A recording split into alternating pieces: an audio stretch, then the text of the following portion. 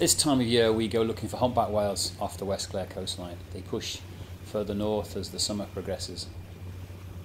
We were at sea for about six hours searching for whales in, in good sea conditions, and there was nothing. There was hardly a seabird.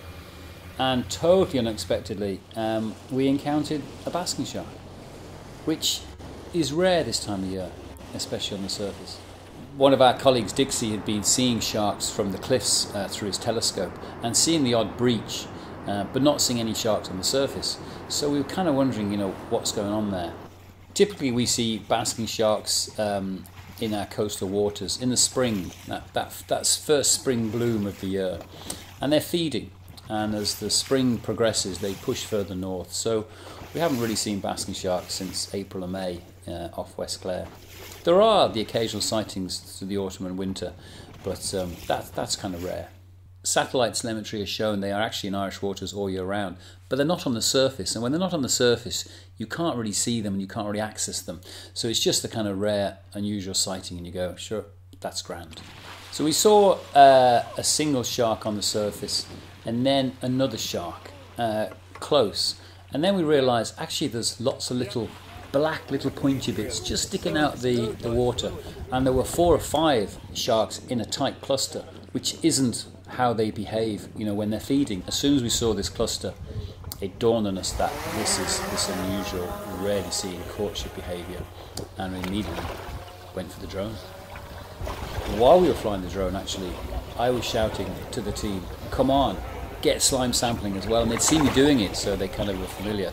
And uh, you know, when you have a good team, they jump to it and uh, go into science mode straight away. Immediately, you just get an amazing perspective. Um, and as we drifted, the sharks were completely undisturbed by the boat, and then started circling around the boat. So from the air, you can see not just the sharks on the surface, but you can see the sharks under the surface, which course, of course you can't see from the boat. And um, and how they're interacting with each other, and you just see them circling around and around. It's almost like a wall of sharks from the surface going down. Who knows how deep? We counted maximum nine sharks in, in most of the ones we filmed, but maybe there was a lot more. Um, and you you realize immediately they're not feeding. You know, these are not feeding aggregations. This is something else, something special. It's a very methodical, orchestrated, choreographed behavior. Even when the pattern's broken up and it seems like the sharks are moving around randomly, um, if you just sit and watch from a distance, they just slowly fall back into that beautiful um, choreography. It's, it's almost as though they're doing synchronized swimming.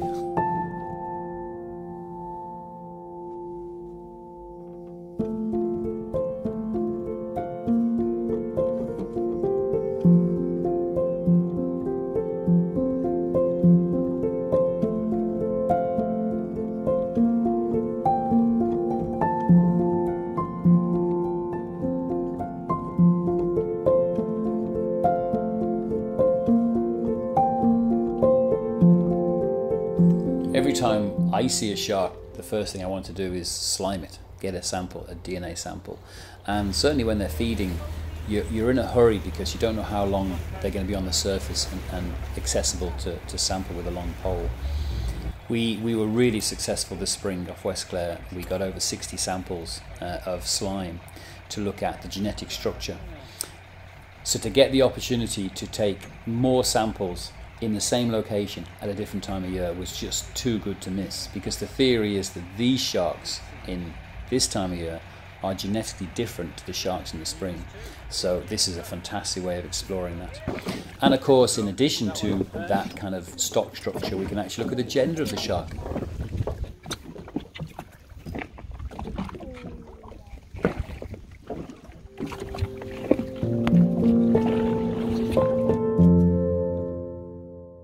Estimating size of an animal in the water is difficult. You know, you see the dorsal fin, you see the tail fin, sometimes you see the, the tip of the nose, and you try and work out the length of it.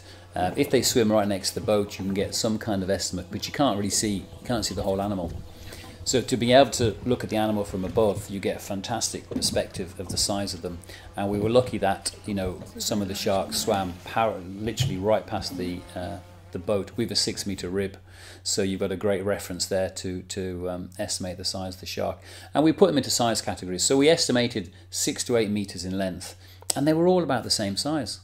In the spring, when you see them feeding, uh, you get much bigger ones, 8, 9 meters, 10 meters often, uh, and you get smaller ones as well, sort of 4 to 6 meters. So these were interestingly all at the same size, all about 6 to 8 meters. And we're only guessing at what size they become sexually mature, but at 6 to 8 meters, you would expect to be sexually mature, both males and females. Prior to this new technology, we're doing everything from the boat, and you get a perspective at sea level. So with this new technology, uh, you get a whole new view uh, of everything that's going on around you. We only bought drones last year as a group, and uh, uh, only recently started flying them. Myself personally, I've only been flying them for the last few months. So every time I get one out of the case, I'm very nervous um, because it's grand flying them, but it's getting them back, especially when you're launching from a boat. Um, so you need low winds, good sea state, and a good platform you carry them, you hope to use them, you're nervous when you do, but when it all comes together and you remember to press record, um, it's just unbelievable. And what's fantastic about the drone is that while you're up there flying them, you can say to everyone around you, come and have a look at this.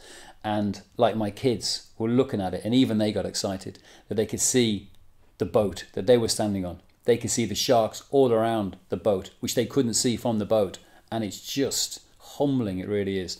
So to share that experience in real time with colleagues and friends who are putting so much time into watching from cliffs going out on boats hour and after hour seeing nothing to share that experience as it's happening and the excitement of all honestly everyone on both boats on both days will remember that to the day they die